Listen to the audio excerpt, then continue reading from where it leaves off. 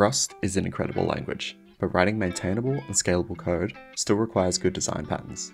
In this video, we'll cover 5 of the most common software design patterns, providing animations and examples to give a deeper understanding of the concepts. The first pattern we will cover is the builder pattern, which is useful when constructing objects that can be built in a variety of different ways, allowing a high degree of flexibility.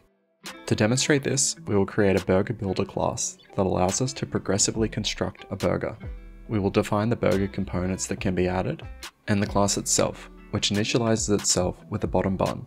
We also add a function for new components, and define a build function that we can use to finalize our object once it's complete.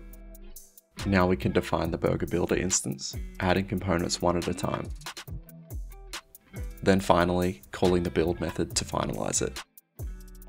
The power here is we can construct objects in an infinite amount of ways without any real restrictions in the class itself, which makes the builder pattern especially useful when dealing with complex objects that require step-by-step -step construction. The next pattern is the factory pattern, which is all about delegating the construction of objects to a factory class. This is especially useful when constructing complex objects and you want to abstract away all that complexity to provide a simple interface. Let's connect this back to a code example. First we will define a shared trait for the things our factory produces, which in this case just logs what they are. Our factory will produce two types of toys, cars and robots. Both will implement the toy trait. We then define the types of toys our factory will produce. And finally we create the factory, which can build a toy based on the toy type. If we want to build a robot, we just call it with the robot type. And similarly, to build a car, we supply the car type. This approach keeps object creation centralized, making it much easier to extend.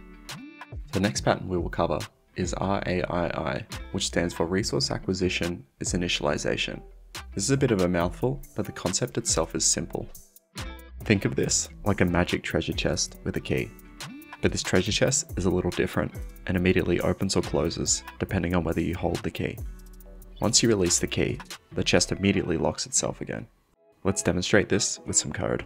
In this example, we'll represent the treasure chest with a mutex. Once again, to access the chest, we will need to acquire the key, which is possible by the lock function on the mutex. Now with the key, we can unwrap the data and edit it. We then close the created scope, which ensures that the key we just acquired will go out of scope, causing the chest to immediately relock itself.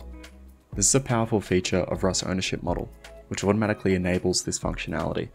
This pattern ensures that resources like files, locks, or memory are properly managed and cleaned up when they go out of scope, which results in far fewer runtime bugs. Now the next pattern is the type state pattern, which helps us manage operations and program state via a type. By taking advantage of Rust strict type system, we can track and manage program states explicitly and get immediate type safety at compile time. To demonstrate this, we'll create a file struct that restricts operations based on whether the file is open or closed. Let's first implement the functionality for the closed state, which simply allows us to open the file. Now we can define the operations for when the file is open, which you can read, write, or close the file. Note that this is a bit inefficient and creates new copies of objects, which should suffice for the example. To demonstrate its use, let's create a new file object, which we will initialize as closed. We can open the file, then read it and write to it, then finally we can close the file. By leveraging Rust type system and generics, we've been able to define specific methods depending on the file's state. This approach not only improves code safety, but also prevents invalid operations at compile time. The final pattern we will cover is the new type pattern, which helps us enforce stronger type safety by wrapping primitive values inside custom types. This prevents accidental misuse and allows us to define custom behaviors for our types. Say we create a program that is handling meters and seconds. We want to immediately prevent misusing these, so we define custom types for each. Now we can easily define our variables, distance and time. Then we can define a function that takes in both types and calculates the speed traveled. Notice that this is very easy to read and immediately prevents passing incorrect types. Design patterns provide a clearer structure to your code.